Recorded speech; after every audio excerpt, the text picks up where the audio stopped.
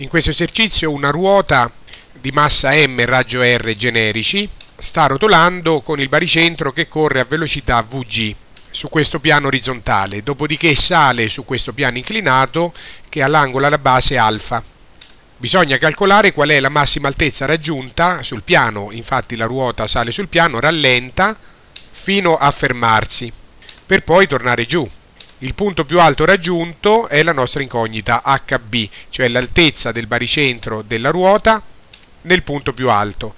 E poi troveremo anche HC, che è l'altezza del punto di contatto nel punto più alto, raggiunto dalla ruota. Immaginiamo che non ci sia l'attrito, perciò si conserva l'energia meccanica della ruota. Se ci fosse l'attrito, una parte o addirittura tutta l'energia meccanica andrebbe in calore, cioè in energia termica.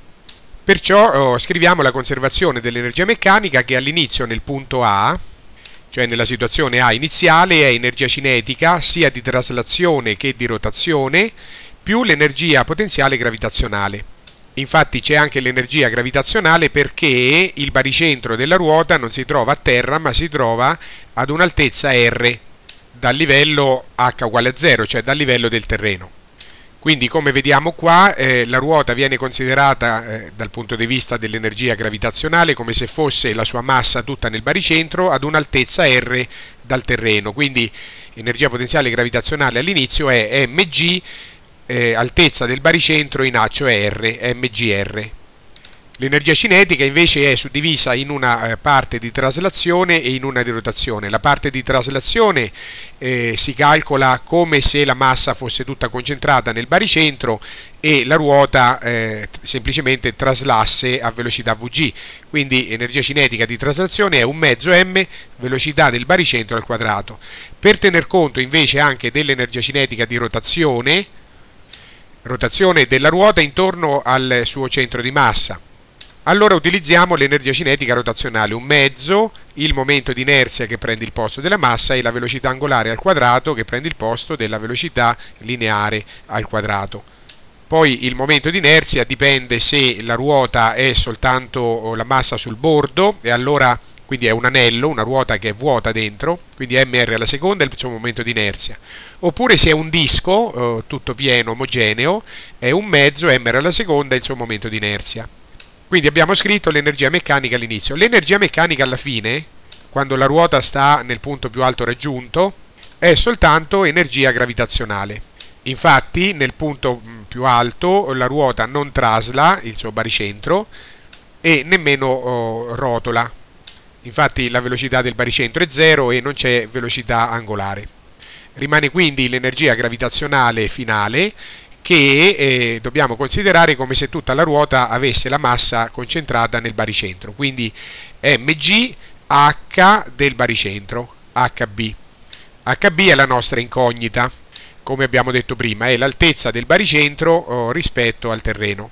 Dunque la conservazione dell'energia meccanica ci ha portato ad un'equazione eh, di primo grado dove l'incognita è, è hb. Tra l'altro la massa della ruota si semplifica essendo presente in tutti i termini.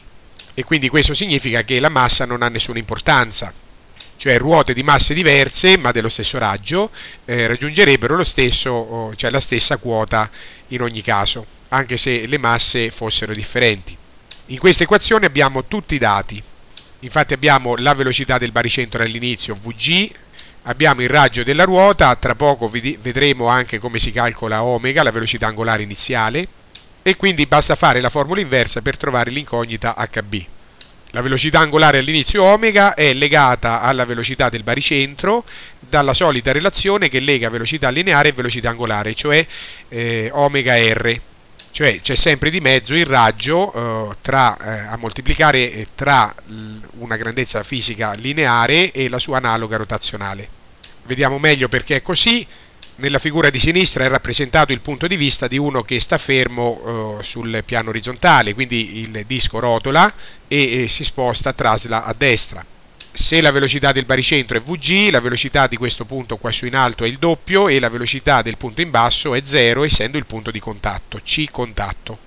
Ma quando noi andiamo a calcolare l'energia cinetica eh, per rotazioni, avendo già calcolato a parte quella eh, di traslazione, dobbiamo immaginare un altro punto di vista, non questo, ma il punto di vista dove il disco semplicemente ruota e non trasla, perché la traslazione l'abbiamo già considerata qua. Quindi il punto di vista del disco che ruota vuol dire come mettersi eh, a correre a fianco al disco alla stessa velocità VG del baricentro. In quel caso oh, noi vedremmo il disco non traslare perché rimane fermo davanti a noi, perché noi stiamo in realtà eh, traslando insieme al disco. E vediamo il disco che semplicemente eh, rotola, cioè ruota intorno al suo baricentro.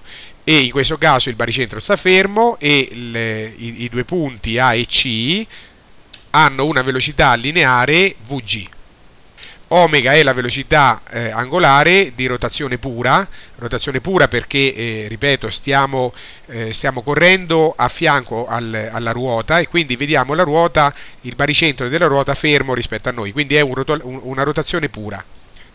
Rotazione pura in quanto abbiamo già considerato la traslazione a parte, quindi rotazione pura, eh, la velocità angolare di rotazione è legata alla velocità lineare dei punti sul bordo da omega r perciò conosciamo anche omega, eh, basta eh, prendere la velocità del baricentro e dividerla per il raggio della ruota.